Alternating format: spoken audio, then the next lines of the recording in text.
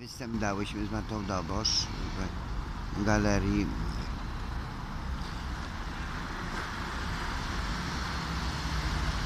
Dym, proszę Państwa, dym. Święta Anna i dym. Kaszlą, kaszlą. Świat moherowej Warszawy kaszlący.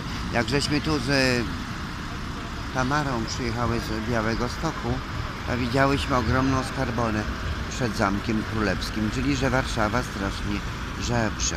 Ale to nie o to chodzi, że Warszawa tylko daje, bo dawali ludzie z USA, Anglii, Ameryki, Białystok, z Londynu, z Niemiec, z Rosji i z czterech stron świata. Także zapraszamy Państwa do kanału Elka Wiercielka z zachodu, Elka Pierdzielka ze wschodu, Cinderella z południa i Wiesialandia z północy.